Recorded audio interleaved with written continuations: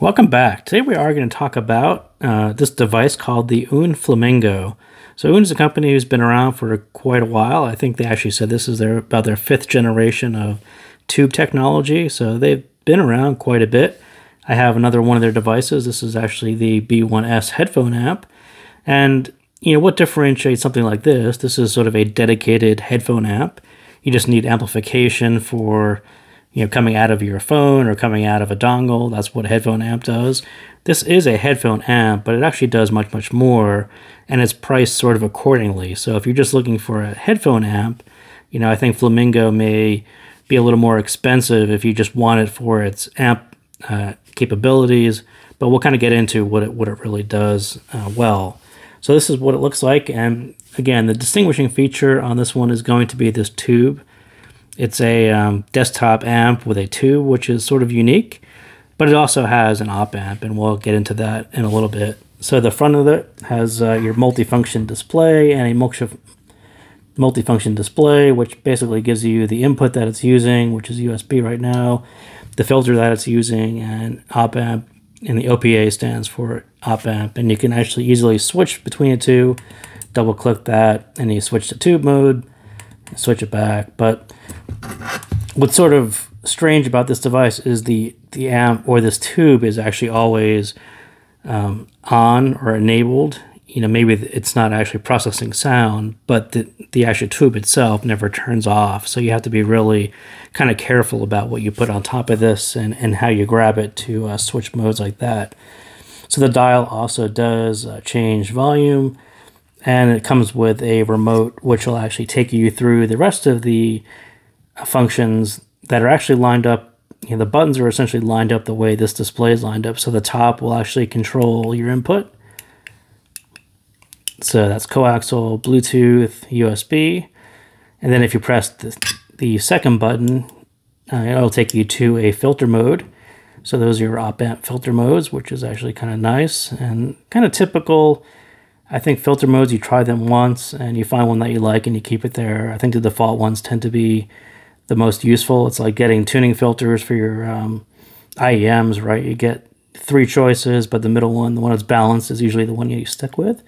I think filters are that way too. And then sort of the bottom button lets you switch those as well. So the uh, tube and op amp mode. So this is the remote, which is actually kind of nice. I think this is about $20 on its own, and it is an actual aluminum remote, which is kind of nice. This is the box. It's a nice, attractive red box. I'm not sure there's too much info on the back, but we'll kind of get this out of the way. So as I said, so on the front, we've got this multifunction display, the tube uh, display.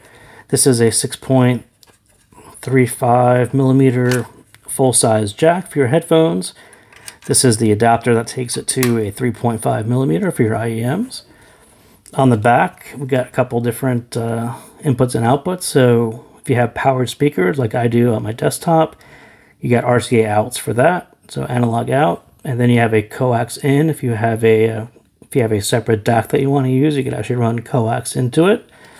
If you want to hook it straight up into your PC, this is a USB port. This is actually that USB port and has a nice cool adapter which takes it down to a USB-C, which is how I use it. This is the Bluetooth antenna, so this one is the Bluetooth model and you actually can run Bluetooth straight from your phone and that's the power and that is the switch. So let's kind of slide this over. So as I was started talking about this um, this flamingo you really have to consider it in the grand scheme of what it can do and how they sort of pitch it and marketing it is it's really the multi-connectivity one for all, right? So the Flamingo becomes your desktop hub for audio. I plug my PC into it. Um, I don't use the coaxial input, but if you had a separate DAC like these other Aune products, then you run that in that as well. And you could also use your phone, so you can actually go Bluetooth straight into the into the Flamingo as well. So it's actually a pretty slick way to process a, a few different audio streams into one device and then output out to your headphones through that front port, through speakers on the RCA out, or um, an, an, aux, an auxiliary out as well. So You know, it's again, you really have to if you're just looking for a headphone amp, you know, this may not be uh, everything for you. This is really sort of a multifunction device, and it should really be used and considered in that context as opposed to I just need an amp for my phone or my dongle. It'll do that. It'll sort of do that, but um, you may be better off with a more dedicated device if that's all you need. So let's kind of talk um, some specifics uh, about what. So as I said, there's uh, three three basic differentiators about the Flamingo from what your typical desktop amp might do. Again, this this mixed OPA tube mode. So there is the tube has an OPA mode, which is slightly more detailed, and the tube is supposed to be a slightly warmer mode. This one does Bluetooth with LDAC and aptX, which again is really handy if you have a phone, especially if you're an Android person and you have LDAC. So you get super high res wireless audio, aptX high res as well. And like I said, this one really is a desktop audio hub. So it'll do, it obviously has a headphone output that has a DAC inside and it's amplified. So it is a headphone DAC app, but um, really it should be considered a hub.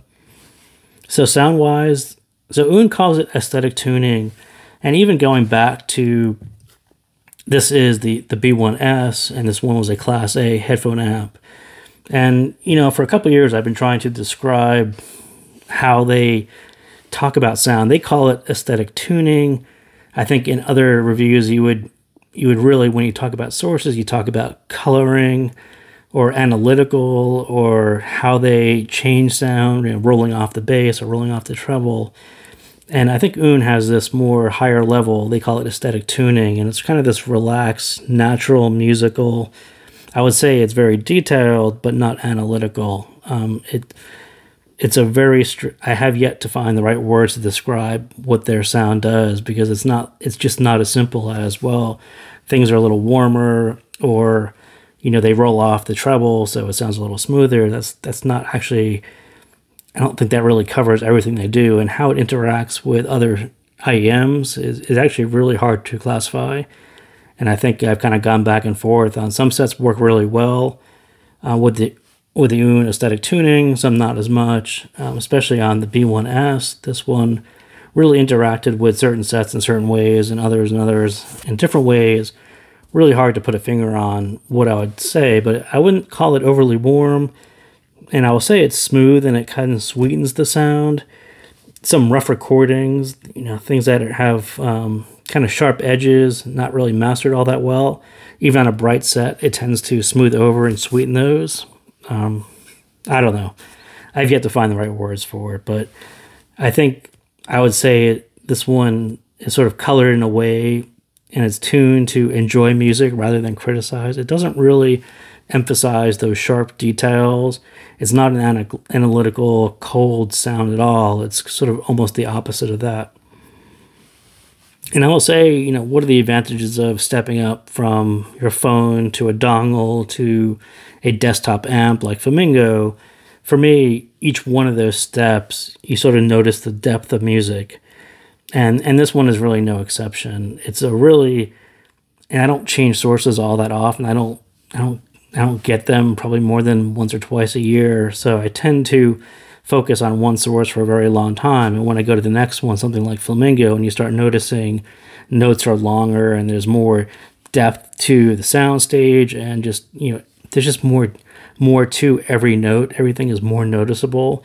And I just sort of call that the depth of music. It's um something you just have to get used to. And I think it's very hard for people to jump from a phone to a desktop amp without much time in between and really hear all the differences. They're all there. It's just a matter of getting your ears and your brain wrapped around hearing what are the specific difference. And I think even on this one, resolving sets uh, definitely will resolve more, but it's a really diminishing return. I mean, you're paying this is about two hundred eighty nine dollars.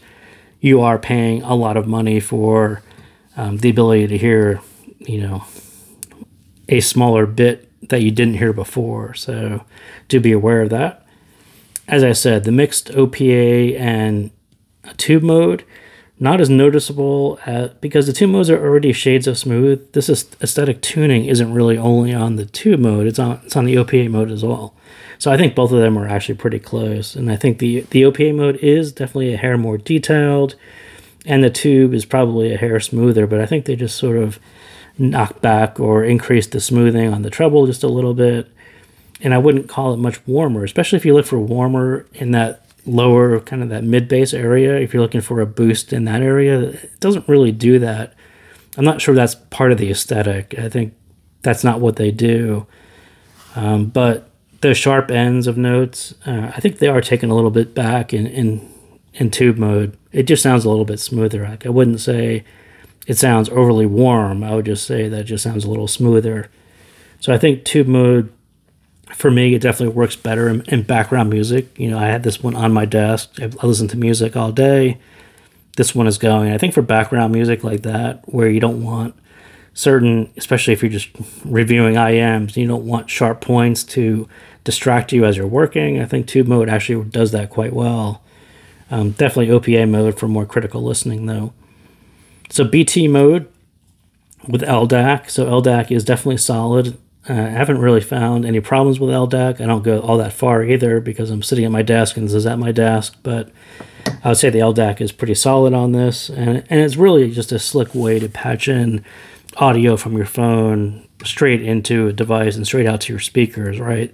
This is sitting on my desk. Um, the RCA outs are actually going to my desktop PC speakers, which have two inputs as well. So it's a really slick way if you have phone local on your if you have music local on your phone like I do, you know, to patch that straight into this device, straight out to your speakers, you know, without having to really do anything other than you know hit a button to switch inputs on this, and uh, it's pretty slick.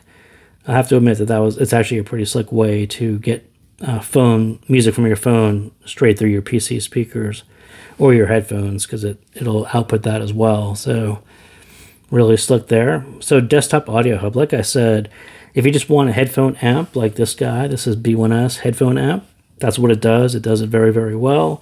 It is a single use device. That is not what Flamingo is. Uh, this one is very much that that multifunction device. Uh, Flamingo was really meant to be that hub for your PC, your phone, and your tablets, and sending music to your headphones and speakers. That's what it does. That's what it was designed for. That's what you're paying a little extra money for. But you know how it connects to your PC. I connected mine through USB C. So in Tidal Tidal streaming app on the PC in exclusive mode on your PC, the volume can be entirely controlled by this wheel. So exclusive mode is actually a pretty neat way to do it. So you set up your Tidal application to output directly to the Flamingo. In exclusive mode, you control volume with the dial your PC can actually be set up so your normal Windows sounds actually go through the normal system device, but Tidal goes exclusively through this device. So, again, a very slick way to patch music through to your speakers without affecting everything else on your PC or losing all the sound on your PC because this one can actually output directly to your speakers or your headphones without dealing with your system uh, control device on your PC. So I thought that was pretty slick, and that's how I use it actually. Other interesting specs DSD uh, goes up to DSD 512. I definitely tried DSD through uh, USB Audio Pro on my phone over LDAC uh, to the Flamingo. That actually works fine. You definitely need a really nice Wi-Fi connection to pull that off, and uh, but it does work quite fine. It also does support aptX HD, and that is that functionality is really on a Bluetooth edition only. This is the Bluetooth edition, and it costs a bit more money than the than the non-Bluetooth edition. So as I said, USB and coaxial inputs. I tend to use the USB input, seven filter modes. Um, for your um, op amp filter modes. Again, like I said, I tend to try them once and stick with the one that's probably the default. That's the way most things work out. 6.35 millimeter headphone uh, output the front and RCA outputs off the back. And the headphone outputs 45 milliwatts at 300 ohms. So again, I think even this, even the B1S, it, it, they don't tend to be super high powered devices. They tend to use their power sparingly, but it's it always sounds good. So I wouldn't say again, I wouldn't say this is a super high powered app, and I don't think they even designed it to be in that way. It definitely has amp capabilities, but think of it as more of that hub. And it just happens to have a very nice uh, op amp and a tube and some audio processing.